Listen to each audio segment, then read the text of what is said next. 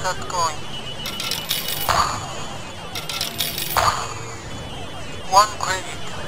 Press start to play.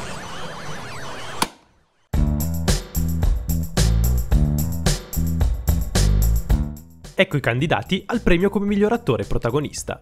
Brian Cranston per Trumbo, Matt Damon per The Martian, Leonardo DiCaprio per Revenant, Michael Fassbender per Steve Jobs ed Eddie Redmayne per Danish Girl. Il grande favorito è sicuramente Leonardo DiCaprio. Tutti lo vorrebbero finalmente vincitore, non tanto per il film in carica quest'anno, in cui comunque offre un'interpretazione eccezionale, quanto per una carriera di livello elevatissimo mai riconosciuta dall'Academy.